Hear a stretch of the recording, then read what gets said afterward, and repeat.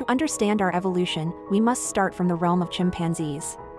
These primates are our closest relatives, sharing about 98% of our DNA. Chimpanzees inhabit the tropical forests of Central and Western Africa.